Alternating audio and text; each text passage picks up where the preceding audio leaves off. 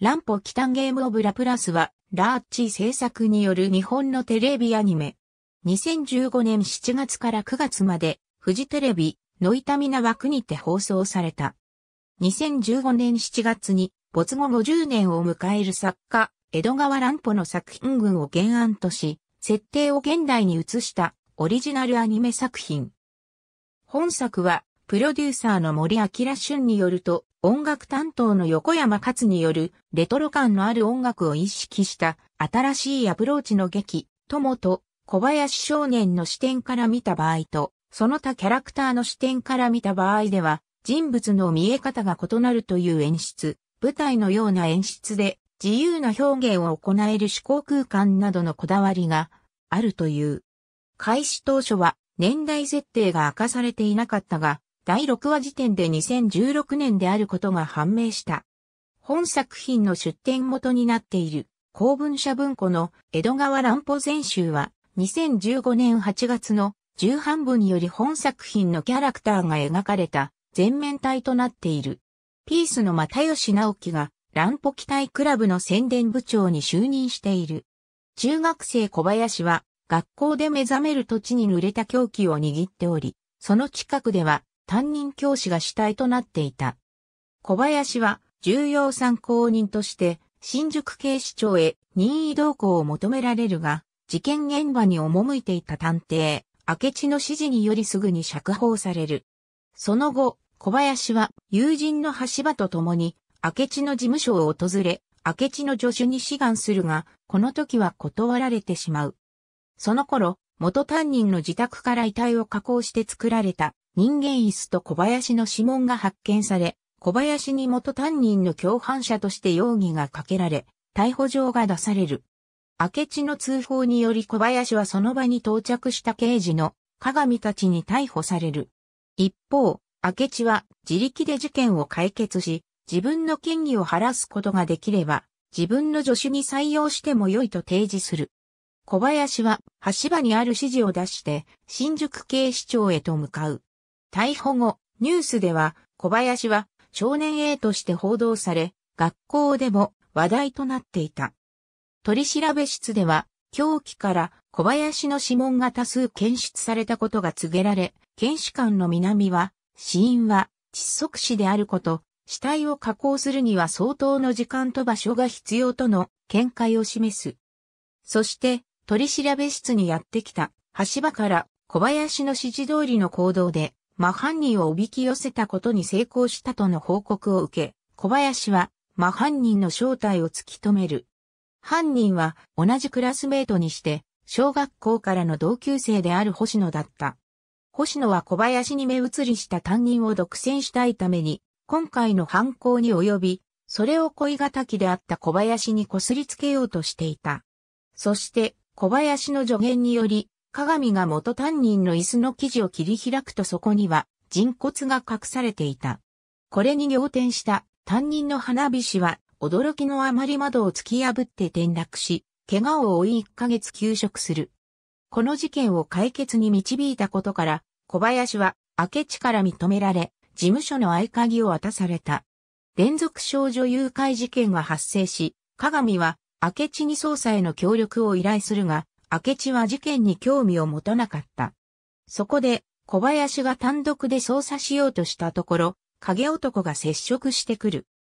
影男は、警察から連続少女誘拐事件の容疑者と見られていたが、少女という存在は私にとって神に等しい。故に私は少女を傷つけるなど絶対にしないと小林に述べ、少女に変装できない影男に代わって女装しておとり捜査に協力してほしいと要請する。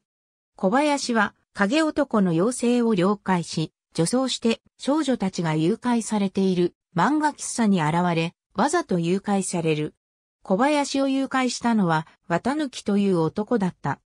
会員カードに仕込んだ GPS で、小林の監禁場所を知った影男は、小林と少女たちの救出に向かうが、最も救出したかった大曽根幸子の姿が見えないことに気づく。幸子はすでに綿抜きに殺害され、壁の中に塗り込められていた。綿抜きは影男の連絡で急行した明智らによって逮捕されるが、影男は警官に扮し、涙を流しながら、こっそりとその場を去る。三年前、法で裁けぬ悪人を次々殺していった怪人二十面相が話題になっていた。以降、二十面相を名乗る模倣犯が次々と現れ、警察は模倣犯に関する報道を規制するが、ネット上では模倣犯に関する情報が広まっていた。さらにネットで犯行声明を発表し、法が裁けぬ悪人をそのものが行った殺人と同様の方法で殺す新たな二十面相が現れる。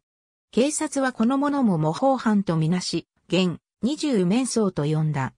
現二十面相の被害者は一週間では15人に達し、鏡は明智に捜査への協力を依頼する。新宿本町の地下に存在する特殊な犯罪犯の独房、通称、新宿プリズンに出向いた明智たちは黒トカゲに接触し、彼女の力で綿抜を釈放させる。綿抜は現二十面相に拉致され、殺害されかけるが、そこに明智と小林が現れる。綿抜の釈放は、現二十面相をおびき出す罠だった。明智が現二十面相のドクロのマスクを外すと、鏡の顔が現れる。鏡は警察官となって、以降、いくら犯罪者を逮捕しても多くの犯罪者が何らかの理由で不起訴、釈放されることに日頃から疑問を持っていた。そして、ある事件で逮捕するも、不起訴となり措置入院中に脱走を図った砂川に妹、時子が殺害されたことで、鏡の精神は崩壊する。そして、この事件がきっかけで自分が犯罪の抑止力となるために、現、二十面相になった。鏡を取り調べた中村は鏡が殺害した犯罪者の中に砂川が含まれていないことに疑問を持つが、鏡は砂川自宅の浴槽で獅子を溶かし、目をつぶし、妹と同じ姿で薬品付けにしてゆっくり殺していると自供する。鏡の逮捕に伴い、現二十面相をおびき寄せるために釈放されていた犯罪者たちは再逮捕されるが、綿抜にはまだ警察の手が及んでいなかった。その綿抜も、ドクロのマスクをかぶった幸子の父に視察される。ある日、小林が明智の事務所を訪ねると、猫が捨てられていた。小林は明智事務所で飼おうと提案するが、明智は猫が苦手であった。やむなく小林が他の飼い主を探しに行こうとした矢先、事務所の前で次元爆弾をくくりつけられた影男を発見する。影男はレンタルビデオ店で会計を済ませた直後に記憶を失い気がついたら明智事務所の前にいたと話す。影男の次元爆弾はエメラルドと共にベルトで影男にしっかりくくりつけられており、ベルトを無理に剥がすと爆発する仕掛けとなっていた。さらに、この子は探偵さんの子ですというメモと共に赤ん坊まで事務所の前に捨てられる。その上、東京レボリューションと名乗る集団が開花の消費者金融に立てこもり、事務所から脱出することも不可能になってしまう。明智たちが思案に暮れる中、エメラルドから小林はベルトを解除するキーワードを割り出し、影男からベルトを無事に外すことに成功し、明智が爆弾を空中に放り投げ、真一発で事なきを得る。次元爆弾とエメラルドは、黒トカゲが自分の誕生日を記念して、明智に送ったサプライズだった。さらに赤ん坊の母親も名乗り出て、明智事務所に平穏が訪れる。ただし、小林の希望で明智は苦手な猫と同居することになってしまう。その頃、中村は鏡に接見し、警察とお前のどちらが正しいかわからなくなったと弱音を吐く。鏡は、俺みたいにならないでください。憧れの先輩のままでいてくださいと頭を下げる。鏡が逮捕された後も、二十面相の模倣犯は後を絶たなかった。明智は模倣犯を一人ずつしらみつぶしに逮捕していくが、日頃はやる気を見せない明智が二十面相が絡む、事件だけやる気を見せることを小林は疑問に思っていた。ある日、新宿警視庁に二十面相を名乗る人物から、不可能犯罪を解明してみろという挑戦状が届き、その直後、三重県の通称、パノラマ島で、コモダコーポレーション会長のコモダ源三郎と、アートプロデューサーの瞳博介の遺体が発見される。二人は大量のマネキン人形に押しつぶされており、遺体発見者で現場監督の角田、作業員の北見、事務員の東工事の三人は、遺体のあった部屋は密室だったと証言した。明智は、本来頑丈な鋼材が使われなくてはならない部品が、脆いものとなっていること、ある程度の知識があれば、マネキン人形の倒壊時間を予測できることから、部品の発注責任者である、東工事が犯人であると推理する。東工事は、過酷な労働で死に追いやられた友人の家族に謝罪と賠償をするようコモダと瞳に直談判したところ、代わりにパノラマ島に展示する女体のマネキン人形のモデルとなるよう強要され、さらにその後も、コモダラの従業員に対する姿勢が改まらなかったため、殺害したと自供した。東京に帰還後、明智は小林と橋場に昔話をする。中学時代、優秀すぎるゆえに孤立していた明智は、自分と同等の頭脳を持つ波越と友人になった。波越は社会を変革する法則、暗黒星の算出に熱中しており、明智もそれを手伝う。暗黒星が完成した暁にはそこから生み出される二重面相が社会の邪悪なものを排除する予定であった。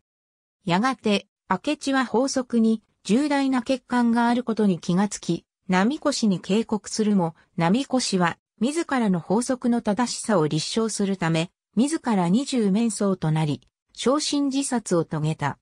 そして、その後、二重面相の模倣犯が次々と出現するようになる。その時、明智はすべての二重面相を逮捕することを決意した。明智は、波越が完成させた数式、暗黒性を解くことができず苦慮していた。ある行動がもたらす波紋をすべて解析する暗黒性を解くことができれば、これから起こる事件も事前に予測できるはずだった。明智は小林と橋場の協力を得て、数式の解析に乗り出す。二重面相の崇拝者の間で、明智の存在がクローズアップされていることを知った小林は、暗黒性の解析には、明智の要素を加える必要があるのではないかと提案する。小林の助言通り、明智の要素を加えたところ、暗黒性は解析された。その直後、二重面相の後継者を名乗る人物から一週間以内に事件を起こすので解決してみろという挑戦の電話がかかる。暗黒星解析に熱中する、あまり学校に登校しなくなった小林を心配して、橋場は小林に登校を促すが、小林は橋場を認識できなくなり始めていた。数日後、脳外科のケニー、宗方隆一郎の功績を称えるパーティーが開かれる。宗方のスピーチの最中に、突然、宗方がかつて患者の手術に非管理の硬膜を使用し、患者を不治の病にして自殺に追い込んだという凶悪を暴露する映像が流される。その患者こそ、検視官、南の弟であり、南は弟の復讐のために二十面相となったのだった。明智は南の犯行を事前に予測し、南が非管理の硬膜を仕込んだ料理を普通の料理にすり替えていた。だが、南はこうなることは分かっていたと交渉する。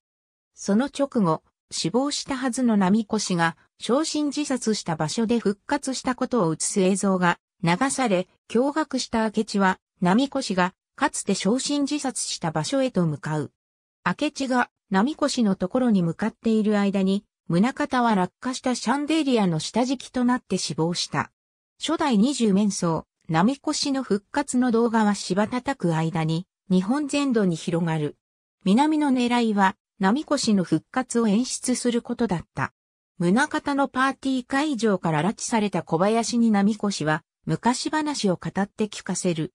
中学時代の波越は、クラスの不良たちからいじめに遭い、担任教師はそれを見て見ぬふりし、家では父親から虐待を受けていた。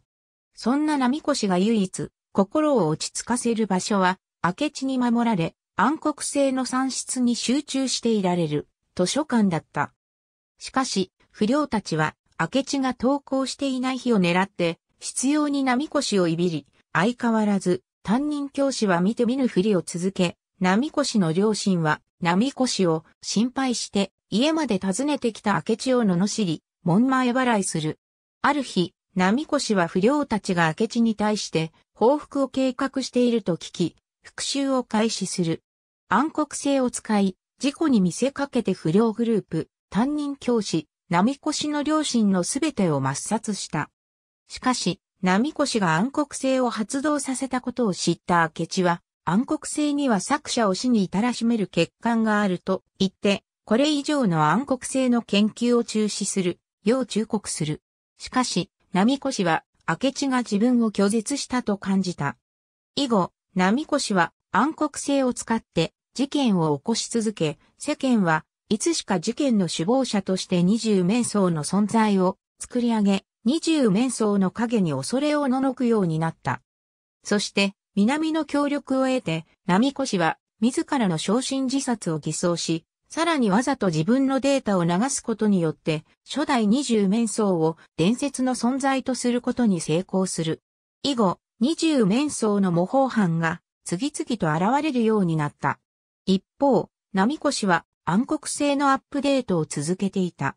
明智が解析した暗黒性はアップデート前のものであり、波越はすでに暗黒防止をさらに進化させていた。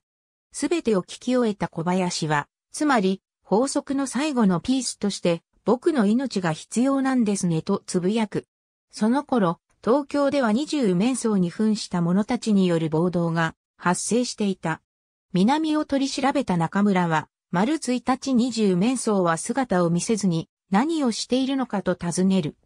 それに対して南は人々の意識を浮かさせるのには時間が必要だと答え、そろそろ時間ねとつぶやく。その頃、波越は橋場コーポレーション新宿タワーに姿を現していた。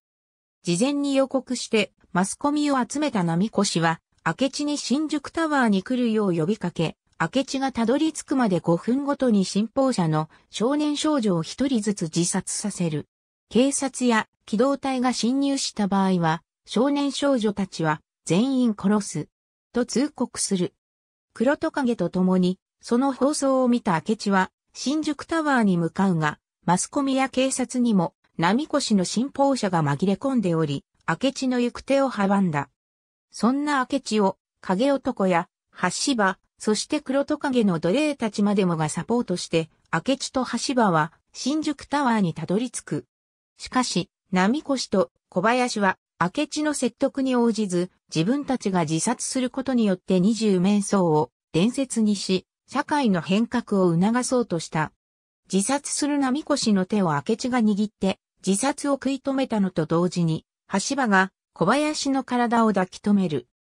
小林は橋場の友情に触れて人間らしい感情に目覚め、目に涙を浮かべるが、波越は自分が死ななければ法則の証明にならない。もっと君に認められなければ嫌われてしまう。と明智への感謝を口にしながら自ら手を離し、落下していった。その後、波越の遺体は発見されなかった。波越の死で二十面相は伝説となり、人々は自分なりの正義を掲げて二十面相に扮し、悪を断罪していった。一方、生きることに意味を見出せなかった小林は、生きることに楽しみを見出し始めていた。そして、波越の記憶に苛まれていた、明智もようやく眠ることができるようになっていた。そんな時、明智事務所の電話が鳴る。明智や小林の新たな捜査が始まろうとしていた。小林が人物の言動に興味を持ち、初めて個人として認識することを示すため、小林が個人として認識していない人物は影として描かれている。明智の視点で描写する場合は、明智が興味を持っていない人間は、デッサン人形のように描かれている。波越の視点で描写する場合は、波越が興味を持っていない人間の顔がドクロとして描かれている。2015年8月22日発売の小説宝石9月号に黒白によるノベライズが掲載された。同年10月よりノベライズが公文社文庫より刊行が開始された。公式サイトにてコミカライズの連載が開始された。脱出ゲームの PK シアターとコラボレーションし、2015年7月4日から9月12日までの毎週土曜日に体感型謎解きゲームが開催されていた。明智の仕掛けた宮内庁認定探偵試験を小林や橋場と共に解く内容で制限時間は通常の体感型ゲームより短い30分となっている。2017年4月12日から16日、新宿シアターサンモールにて全球公演上演。脚本監修にアニメ版シリーズ構成の上津誠、アニメ版小林を演じた高橋理恵が舞台版でもキャスティングされた。アニメ人間椅子のストーリーを主軸に舞台オリジナルキャラクターミカサを新たに加えたストーリー。江戸川乱歩ゆかりの地である豊島区に所在する豊島区立中央図書館にて舞台ゲネプロ写真パネルを展示。2017年9月11日シネマサンシャイン池袋にて DVD 発売イベント開催。舞台化第2弾乱歩キタンゲームオブラプラスパノラマ島の怪人2018年4月13日から20日新宿シアターサンモールにて全15公演が上演された。